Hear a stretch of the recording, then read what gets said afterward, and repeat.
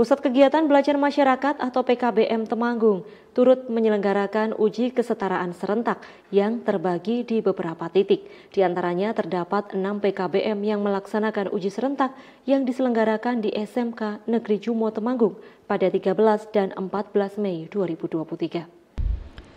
Pendidikan kesetaraan adalah sebuah istilah yang merajuk pada upaya untuk menyamakan kesempatan bagi semua individu untuk mendapatkan pendidikan yang berkualitas. Di Indonesia, pendidikan kesetaraan terdiri dari tiga paket, yaitu paket A, B, dan C. Hal ini bertujuan untuk membantu siswa dalam menyelesaikan pendidikan dan memperoleh ijazah, sehingga dapat melanjutkan ke jenjang pendidikan yang lebih tinggi atau memasuki dunia kerja di mana untuk melakukan pendidikan kesetaraan dapat melalui Pusat Kegiatan Belajar Masyarakat atau PKBM. Pada tanggal 13 dan 14 Mei 2023, PKBM Temanggung melaksanakan uji kesetaraan serentak, di antaranya yang dilaksanakan dengan menginduk di SMK Negeri Jumo yang mendapatkan 6 PKBM yaitu PKBM Mitra Andalan, PKBM Karno Duto, PKBM Mekarsari, PKBM Tunas Harapan, PKBM Pangudi Utomo, dan PKBM Pelangi.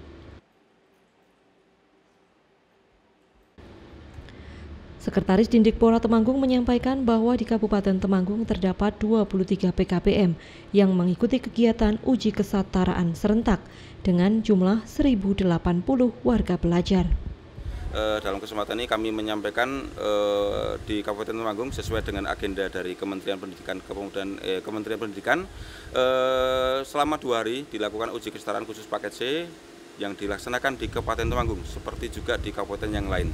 Dua hari ini dilaksanakan uji kesetaraan untuk 23 PKBM paket C sejumlah sekitar 1080 warga belajar Harapan kami pelaksanaan ini sesuai dengan ketentuan dan regulasi pelayanan pendidikan kesetaraan menjadi semacam tahap pelaksanaan pendidikan di Kabupaten Temanggung.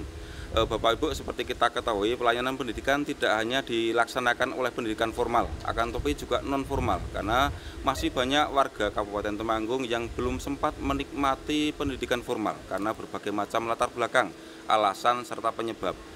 Di kesempatan hari ini kami secara kedinasan mengucapkan terima kasih kepada teman-teman PKBM 23 PKBM yang mungkin dua hari ini beraktivitas di beberapa titik untuk melayani pelaksanaan uji kesetaraan ini.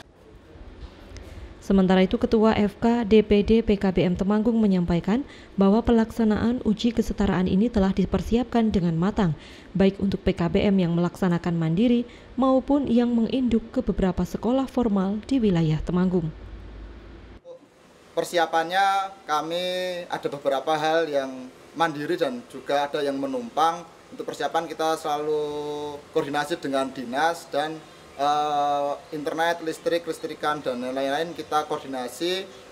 Uh, Alhamdulillah untuk yang kita di sini ada mandiri, kemudian ada yang juga PKB PKB yang lain, ada yang menumpang di sekolah uh, formal cukup berjalan dengan lancar. Alhamdulillah untuk saat ini sampai saat ini server dari pusat pun kita lancar.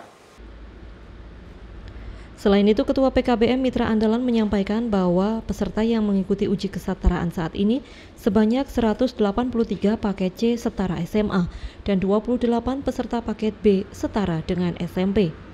Ini tahun 2023 PKBM Mitra Andalan menyelenggarakan uji kesetaraan.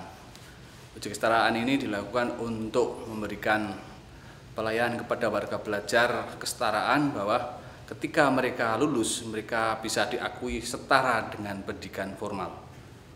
Kalau pesertanya berapa Pak? Ya. Pesertanya mengikuti pendidikan di PKB Mitra Andalin ini ada 183 itu paket C setara SMA, 28 itu paket B setara SMP. Ini diikuti oleh enam satuan pendidikan ya. 6 satuan pendidikan itu PKBM Mitra Andalan, PKBM Karno Duto, PKBM Tunas Harapan, PKBM Pangudi Utomo, PKBM Mekarsari, dan PKBM Pelangi. Dengan adanya uji kesetaraan ini diharapkan seluruh warga belajar bisa mengikuti ujian paket dan bisa lulus dengan baik, sehingga meningkatkan tingkat pendidikan di Indonesia serta mengurangi angka putus sekolah dan meningkatkan tingkat literasi masyarakat. Arfian Alfat, Temanggung TV.